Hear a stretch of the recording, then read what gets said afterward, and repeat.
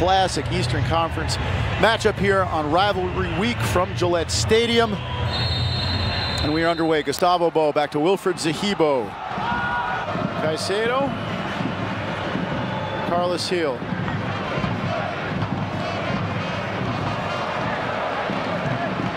Now Brandon Bye to the near post, and it's in! Zahibo has his first goal of the year.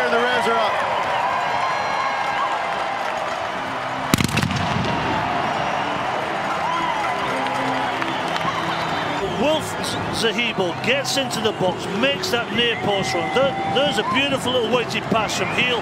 Look at Zahibo coming near post. He makes it look very, very simple. Beautiful weight from Gil. Fabulous ball from Bou. There's big Wilf and that near post. Absolutely sensational movement from the holding midfield player. Of his distribution, but that his shot-stopping ability is uh, terrific.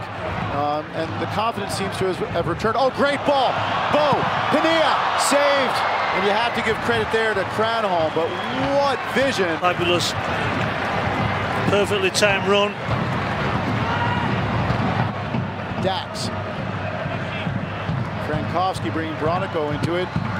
He centers, it bounces in athletically away by Farrell. Now Gaitan, saved by Turner, and it's a safe parry. That will be cleared by DeJuan Jones. His team attacking free kick in his left center channel, ideal for uh, their maestro, uh, Gaitan, serve this in the far post. That's where he goes, open player, and it's 1-1 of all people. It's Francisco Calvo, the center back, getting forward and equalizing for the Fire. It's his fourth goal of the year. Is he offside, Brad? Uh, looked like an offside uh, play. The flag stays down. Oh, it sneaks through for Gaitan. Jones gets back. You'd think they'd have to review it if it scores. It'll be a corner kick. Paul, I, that's a tricky one for the AR, but one that he should spot. Penilla trying to use his speed here with the long touch around Bronico. Gets a step, puts in a low cross. Bou trying to get a turn, does! Beaten away by the Chicago keeper, Kronholm. The Revs still on the attack, their best chance of the second half. Just outside the D, the wall just past the penalty spot. Gustavo Bou, well, he ripped it, but he ripped it too high and off target. Everybody behind the ball for Chicago again. Gil finds Bou. He couldn't find Caicedo. Gustavo wins it. El Pantera, left-footed shot. Oh, wow! What a goal to put the Revs back in the lead. Gustavo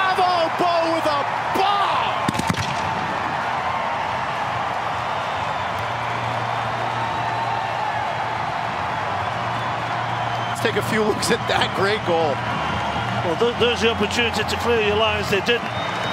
Ball pounced on it. And what a tremendous strike with his left foot.